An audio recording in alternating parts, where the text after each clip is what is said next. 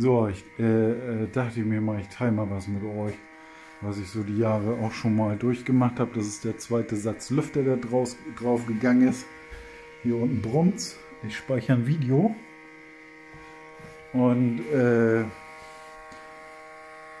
ja, es brennt an allen Ecken und Enden, möchte ich damit sagen. Handy kaputt, Notebook kaputt, Tastatur kaputt, Maus kaputt. Alles so weit, dass es mir Sachen löscht, auch meine Telefonnummer einfach hier gewählt wird oder irgendwer aus Versehen gesperrt wird. Also mein Handy macht sich dann selbstständig. Ja, da ist schon Spliss und Kamera drin, auch schon, ich sehe das in den Filmaufnahmen. Noch geht alles, aber es hängt am seidenen Faden. Und ich wollte damit sagen, ich weiß nicht, wie lange es mich hier noch gibt aufgrund dieser Umstände. Ich versuchte auch Vertrauen, aber ich pfeife auf den letzten noch. Jo. Das ist so meine Welt hier. Und ich kann sie auch mal so zeigen, wie sie ist. Ich habe das schon mal in einem Stream geteilt und gerade leuchtet hier ein bisschen die Sonne rein. Ja, beziehungsweise das Licht. Ich stelle mich mal ins dreckige Fenster. So sieht das bei mir gerade aus. Ich habe geschafft, ein paar Strukturen wiederherzustellen. Das war hier echt übel. Fluchtfliegen haben hier die Bude übernommen, hängen auch noch Spinnweben hier genug. Ich habe auf jeden Fall Spinnen da, da sieht man das gleich. Aber wir sind dicke miteinander. Da seht ihr den Schatten, den ich meine. Die Linse hat da irgendwo einen Kratzer, seht ihr das? Das taucht in meinen Videos auf. Davon rede ich. Und ich hoffe, das Ding hält möglichst lange noch. Gestern ist es mir wieder runtergefallen. Das ist mir jetzt schon lange nicht mehr passiert. Das war zu doll diese Woche. Genau, das ist so meine Wohnung. So wohne ich. Einzimmerwohnung über mir, unter mir, um mich herum, bis auf Fensterseite Nachbarn. Ich habe meine häusliche Situation oft genug geteilt, dass es hier folterähnliche Umstände sind, in denen ich wahrhaftig wohnen musste. Ich musste mir sehr viel erkämpfen und habe mittlerweile auch definitiv mehr Ruhe, aber ich bin noch so posttraumatisch belastet und es passiert regelmäßig im Hause etwas, was mich zurückwirft. Und wenn ich hier keinen Ruheort habe und im Schrebergarten nicht, dann wird das einfach nichts. Dann funktioniert man irgendwann nicht mit nicht genug Schlaf. Hier ist mein Leben nach wie vor fremdbestimmt von anderen Menschen, wann ich schlafen gehen darf, ob ich durchschlafen darf und wann ich aufzustehen habe.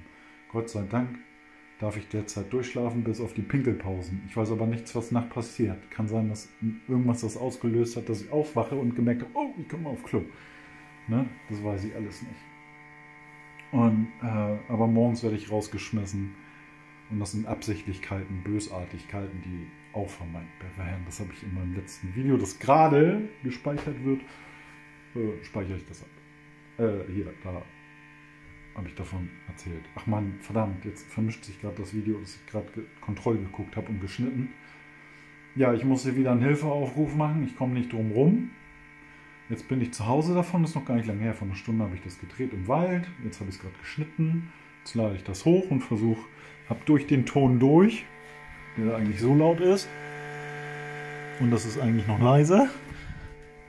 Es geht mal an, mal aus, mal gut, mal nicht. Die Lüfter, ich hoffe, das hält noch möglichst lange durch. Ich muss auch gerade mal auf die Temperatur von Grafikkarte und CPU achten. Moment, das nehme ich mit. Ist gleich so weit.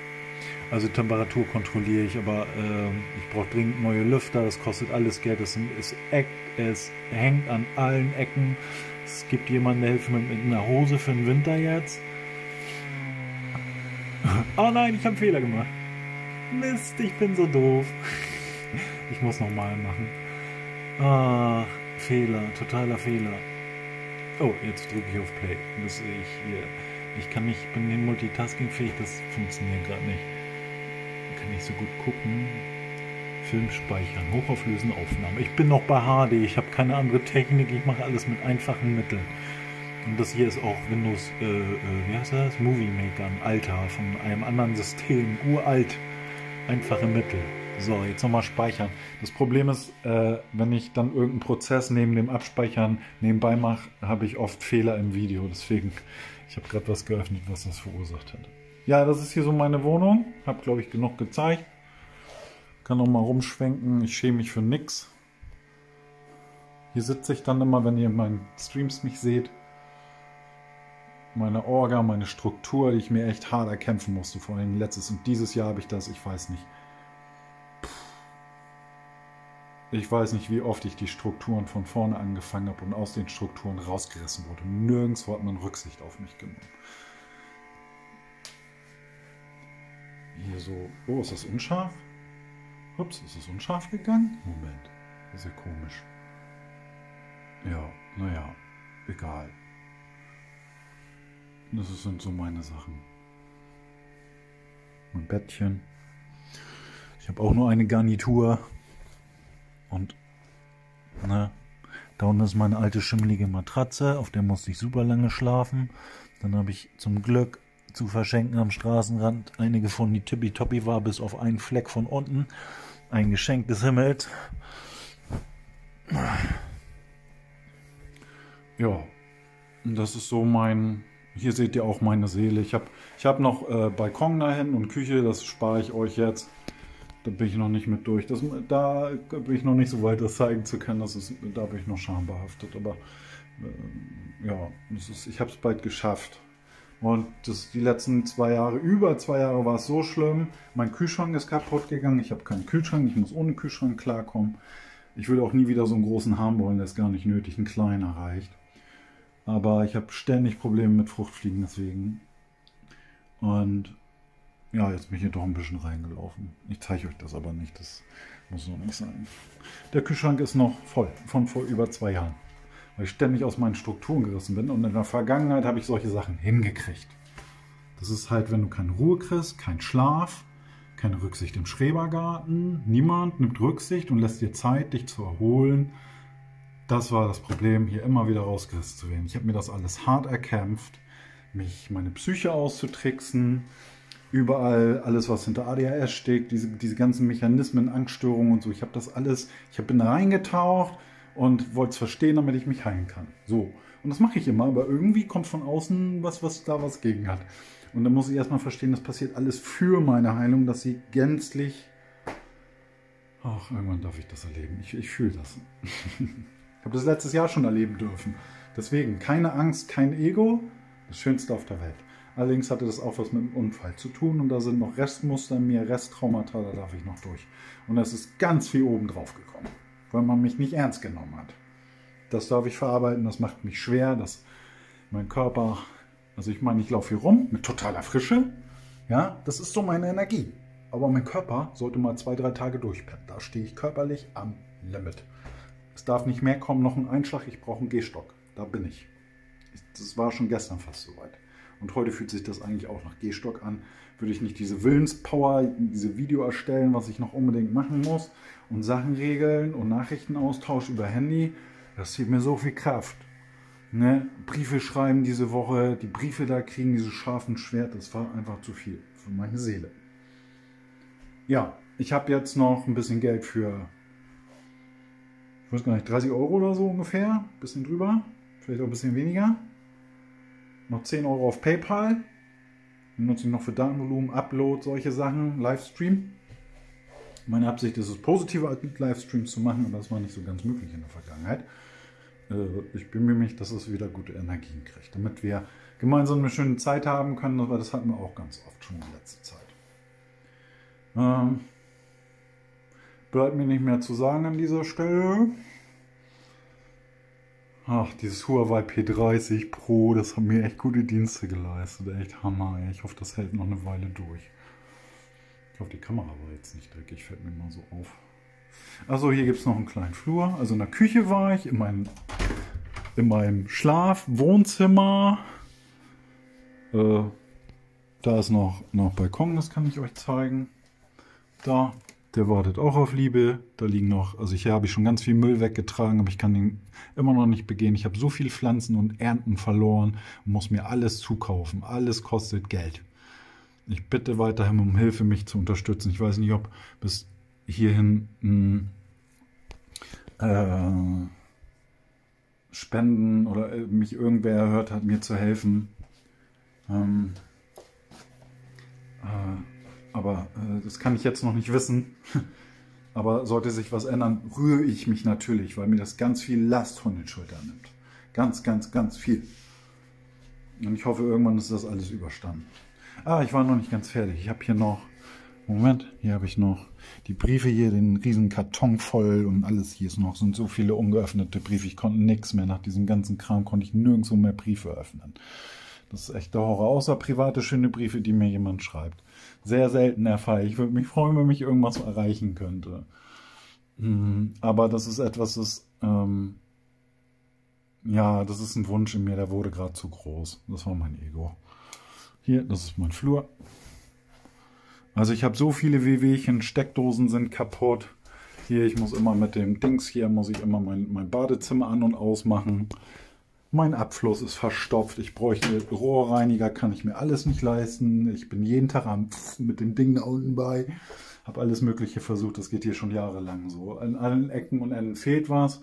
Aber dank Hilfe und Spenden habe ich definitiv ein behindertengerechteres Leben und habe aus dem, was ich mache, das Maximum gemacht. Ja, und ich, äh, ich brauche keinen Luxus. Das interessiert mich überhaupt nicht.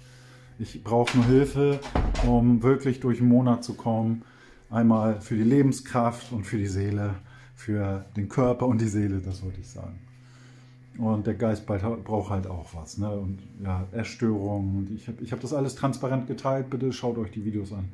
Ich kann das nicht wiederholen. Möchte, das ist ja auch, das ist alles gesagt in dieser Hinsicht und sollte mich noch was malträtieren, kommt das irgendwann von alleine raus. Ja. So, ich mache es mir jetzt schön. Ich habe jetzt gleich den Upload noch. Jetzt habe ich Pause, jetzt kann ich den Körper schonen. Ich muss erstmal raus, um alles zu verdauen und zu verarbeiten. Ich habe morgens immer diese posttraumatische Belastungsstörungsphasen. Nach dem Schlaf ist es am schlimmsten. Das ist kaum aushaltbar mit meiner Seele. Und dann dauert das einen Tag. Ich meine, jetzt haben wir wie viel Uhr? 15.31 Uhr. Jeder Tag ist zwar anders, aber das erlebe ich äh, sehr oft in meinem Leben.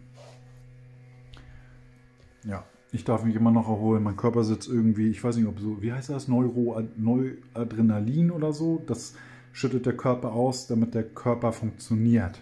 Aber der Körper ist weit drüber. Wenn ich mit dem ganzen Stress hier fertig bin, will ich nur noch aus Husum raus. Ich hoffe, mich erreicht Geld. Ich habe selber ein Ticket schon zum Verreisen. Es ist super wichtig, dass ich diese Zeit überstehe. Diese raus aus Husum, weg von diesen Energien. Und äh, kaum bin ich raus aus Husum irgendwo anders, sind die auch weg. Unfassbar. Ich war in Braunschweig, das ist ein ganz anderes Leben. So, 96 Prozent. 96, sehr witzig. Ach ja. Das ist nochmal ein anderes Thema. Ich kann nicht mehr. Bin so platt. Also mein Gas ist fast alle. Ich hoffe, man hört mich. Ich kann nicht mehr. Du bist fertig. Danke. Probe gucken brauche ich nicht, habe ich gerade schon. Jetzt Upload, Beschriftung, veröffentlichen. Einfach raus, ich will Ruhe. Heute ist Freitag, heute ist Liebe, Selbstliebe angesagt und Selbstliebe. Da habe ich noch einiges zu tun mit meinem Seelen, Seelenfrieden, Frieden, dass ich den finde. Aber da liegt noch wohl einiges vor mir. Alles passiert für uns. Oh, sorry, Schielen. Ich kann nicht mehr. Mir ist so. Ich, ich habe, weiß, wisst ihr, ich kaufe kauf immer Sachen, ich schaffe es nicht zu kochen. Ne? Ich habe hier Pilze und, und, und Quark habe ich genommen statt Sahne. Und ähm, Waffeln und so ein Kräuterding. Ach, das könnte ich in den Ofen hauen als Appetizer, äh, Appetitanreger. Und dann könnte ich nachher vielleicht kochen. Aber ich habe die letzte, ich habe viel zu wenig. Mein Körper nimmt ab, das merke ich derzeit. Aber es ist auch Entgiftung, ist gut. Dennoch fehlt mir das Geld für ordentliche Nahrung. Ich hoffe, ihr helft mir. Mir fehlt genauso das Geld für mein medizinisches Cannabis. Ich hoffe, ihr helft mir, dass es wegen dem, was hinter meiner Behinderung steht und da noch zugekommen ist und alles, was äh, die all die Jahre gefehlt hat und ich konnte äh, äh, auch mit Hilfe nicht in Umstände kommen, dass ich heute behindertengerecht versorgt bin. Das hat alles gesundheitliche Gründe. Und äh, das andere finanzielle ist für jeden nachvollziehbar. Schaut in die Supermärkte, wer soll, denn, wer soll das denn überleben? Es gibt so viele Bürgergeldler, die die Hilfe brauchen. Also ich mit meiner Essstörung habe da echt ein extremes finanzielles Handicap plus posttraumatische Belastungsstörung. Mir hilft das Cannabis, es ist unfassbar öffnend, heilend, durchlaufen lassen. Es ist so heilsam. Ich habe nur gute Erfahrungen gemacht auf der einen Seite. Und auf der anderen Seite ähm, äh, äh, weiß ich, so wie es auch im Namen steck, steckt, Can Abyss, also Abgrund. Man kann, äh, wie sagt man, Absturz haben. Habe ich auch alles erlebt, habe ich genug Erfahrung. Ähm, aber das Haben und äh, also das, Ich bin unfassbar dankbar, dass es hier, die Umstände jetzt so sind, egal wie viel ich da rumgemeckert habe. Da gibt es so viele Fettnäpfchen, in die man treten kann. Man hat das Gefühl, man macht die ganze Zeit was verkehrt mit diesen Gesetzen, die es gibt. Aber ich darf sehr viel erkennen, was mir im Leben hilft. Ich meine, ich habe jetzt für meine Diagnosen, die ich da beim Arzt angegeben habe, Cannabis verschrieben gekriegt. Nur das Ganze kostet Geld. Und ich habe den Weg vor mir, dass ich das natürlich irgendwann nicht mehr brauchen will. Also, dass es aus meinem Leben verschwindet. Ich durfte das letztes Jahr schon erfahren. Ich habe mich komplett frei gemacht, kein Tabak mehr, kein Zucker mehr. Es ging von alleine weg, weil ich mein Traumata in mir äh, aufgelöst habe. So, dann kamen noch die Unfallumstände, ne? Gedächtnisausfall, Sprachzentrum, das ist alles so ein Mix. Und dann hatte ich das Glück, schon ohne Angst und Ego durch die Welt zu gehen. Ich weiß, wie das ist. Und darf ich wieder hin? Leute, darf ich wieder hin? Ja, so jetzt verliere ich ein bisschen den Faden. Und das Video schreit, veröffentlicht zu werden. Ich brauche dringend Hilfe. Ich hoffe, ihr helft mir. Dieses Video schiebe ich zeitnah nach. Genau, das schneide ich gleich als nächstes beim Upload. Vielleicht sehen wir uns noch im Livestream und ansonsten hoffe ich, dass ich bald das machen kann, was ich gesagt habe. Ruhe finden. Ich schmeiße jetzt nochmal diesen Kräutertaler auf Basis von Brokkoli. Hammer gut. Das passt zum anderen Thema. Mir gleich noch im Backofen, dass ich was Festes, Warmes esse. Ich weiß gar nicht, ob ich das letzte Mal was Warmes gegessen habe. Ich habe jetzt hier auch noch ein günstig Brokkoli da. Ich habe noch Pilze da. Und ich habe Quark da und dann wollte ich mir mit Reisen gerecht machen. Das war so der Plan. Achso, das Gebrumme höre ich nicht. Ich hoffe, das war nicht zu laut und ihr kommt damit zurecht. Das sind meine Umstände, in denen ich lebe. Ein Teil. Ist ja gut, wir haben es gleich geschafft. Ja, du kriegst bald wieder deine Pause. Und ich hoffe, in, in kurzer Zeit auch dein, deine Lüfter. Also es wird davon abhängen, wie weit ich und lange ich hier noch weitermachen kann. Also wer mich da unterstützen will, auch immer gerne. Mein Geld ist immer in die Dinge da auch gewandert. Ich schuld auch jemand noch ganz viel Geld für das Notebook. Oder an sich nicht, nur ich möchte ihm trotzdem das Geld dafür geben. Ja, so sieht das aus. Uh, ja, jetzt nervt es wahrscheinlich. Ich äh, wünsche euch ein wunderschönes Wochenende. Ich glaube, das wird euch noch erreichen vorher. Et voilà. Ich bin raus. Bleibt im Licht und der Liebe. Bleibt, bleibt mir dann nur zu sagen. Bis dann. Ach, da hinten sind übrigens meine Pflänzchen. Ich versuche das natürlich aufzufangen. Ups. Das ist auch der Brokkoli, Zwiebel. Habt ihr vielleicht schon gesehen. Aber es reicht nicht. Ich habe für fünf Monate 10 Gramm rausgekriegt. Jetzt, ich habe Westfenster, ich habe keine Lampe, ich habe auch nicht das Geld für die ganzen Sachen. Ich kann keine Samen bestellen. Hier stehen nur zwei Pflanzen, weil ich mir den Samen nicht leisten kann. All diese Sachen. Ich würde das gerne selber machen mit Lampe und spare ohne Ende Geld. Nur da muss man erstmal hinkommen. So klappt das nicht ganz so. Aber hier steckt ganz viel Liebe drin und ich bin überrascht, wie viel diese Pflanze gerade trägt. Das äh, lässt hoffen. Das, dadurch kann ich Geld sparen. Ich will das natürlich selber machen, aber ich habe weder Geld noch Raum noch Energie, bisher das alles umzusetzen. Es fehlt an allen Ecken und Enden und ich bin mit allem dabei, was ich einbringen kann. Und der Rest ist einfach äh, äh unausweichlich. So, es wird laut. Ich bin raus. und weg.